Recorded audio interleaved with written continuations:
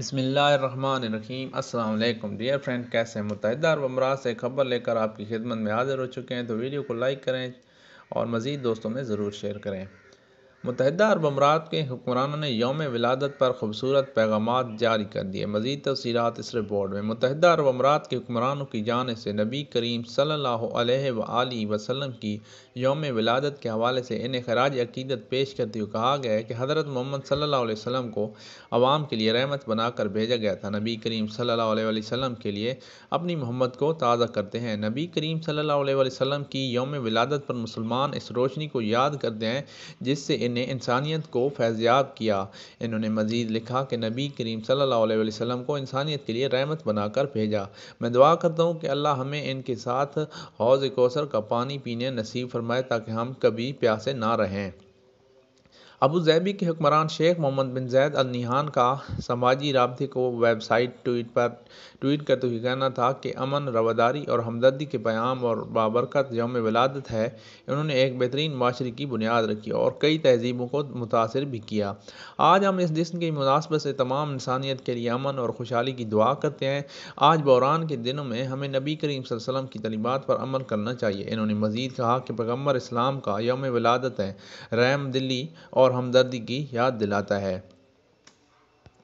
अमराद में जो कंपनियाँ मुलाजमीन को तनख्वाह नहीं दे रही हैं, इन कंपनियों के साथ क्या होगा? मजीद तफसीत इस रिपोर्ट में देंगे अगर आप अमराद में मुकीम हैं, मगर आपकी कंपनी तनख्वाहें रोक कर बैठी है या बाकायदगी से अदा नहीं कर रही तो अमराती वजारत इंसानी वसायल अमराती ऑर्गेनाइजेशन की जानब से कारकुनों के हकूक़ के तहफ़ के लिए मज़बूत कवानी मौजूद हैं, जिसमें वैज प्रोटेक्शन सिस्टम भी शामिल है। इस सिस्टम के तहत तनख्वाहों की अदायगी में तखीर करने या अदम अदायगियों पर कंपनी को अजर के खिलाफ कार्रवाई की जाती है।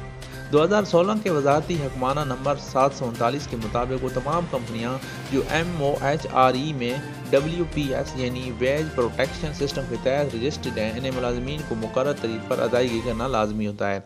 इस सिस्टम के तहत मुलाजमीन की तनख्वाहें बैंक मालाती अदारों अकाउंट में मुंतकिल की जाती हैं। M O H R E की जानब से ऐसे किसी ट्रांजेक्शन या डील को मंजूर नहीं किया जाता, जिसमें कंपनियों के मलकान वेज प्रोटेक्शन सिस्टम में रजिस्ट्रेशन नहीं करवाते।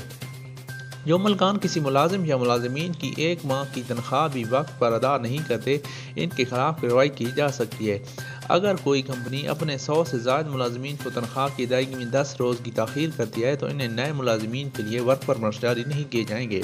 ऐसी कंपनी की जाने से मुकर तरीक गुजरने के बाद एक माह तक भी अगर मुलाजमीन को तनख्वाह अदा नहीं की जाती तो इसके खिलाफ अदालती कार्रवाई होगी। और जुर्माने और सज़ाओं का मुरतब किया जाएगा। इस कंपनी के मालिक की दीगर कंपनियों के खिलाफ भी एक्शन लिया जाएगा। मालिक या मलिकान कोई नई कंपनी रजिस्टर नहीं करवा सकेंगे, जब एम्प्लॉय बैंक गारंटी भी दिवालिया करार दे दी जाएगी। तनख्वाहें अदा करने वाली कंपनी को डाउन क्रेड केयर के तीसरे दर्जे में मुंतकिल कर दी जाएगी, जबकि इस कंपनी के मुलाजमीन को दीगर कंपनियों में मुलाजमत करने की इजाज़त दे दी जाएगी। दुबई इंटरनेशनल पर एयरपोर्ट पर गैर मुल्की की मुश्किल हरकत पुलिस ने पकड़ ली। सामान ऐसा कि बरामद हुआ कि काम सर पकड़ से बैठ गए। मजीद तफसीत इस रिपोर्ट में। दुबई टाफियों के पैकेट में मंशियात छुपाने वाला मुलजिम को गिरफ़्तार कर लिया गया। मुलजिम को दो साल के लिए जेल भेज दिया गया।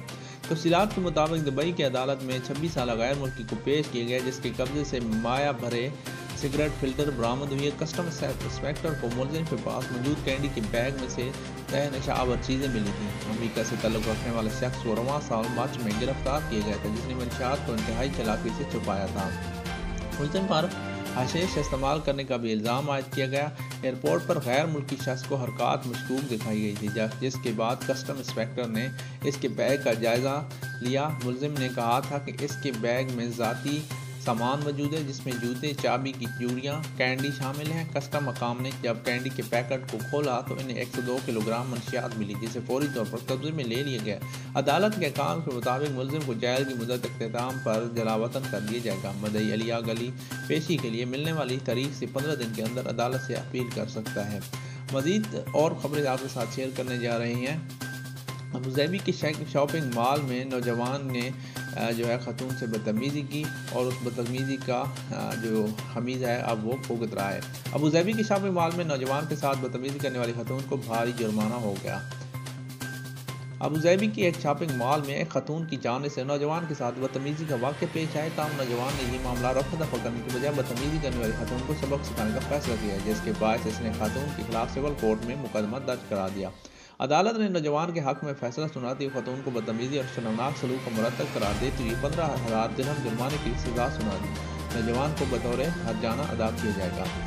अरब नौजवान ने बताया कि वो शॉपिंग मॉल में कुछ खरीदारी की गर्ज से आया था, जब एक अरब लड़की ने बगैर किसी वजह के सब दुकानदारों के सामने उसे बुरा भलगा और बेशरम ता कह दिया। हालाँकि इसने अरब लड़की को ना तो कुछ कहा था और ना इसे कोई नामुनासिब हरकत की थी।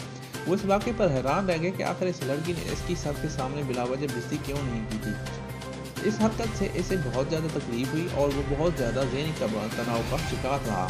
इस हर जाने के तौर पर खतून ने इसे एक लाख दिरहम दिलवाए जाए तक अदालत ने खतून को कसूरवार ठहराते हुए नौजवान को पंद्रह हज़ार दिरहम करने का हुक्म सुना दिया।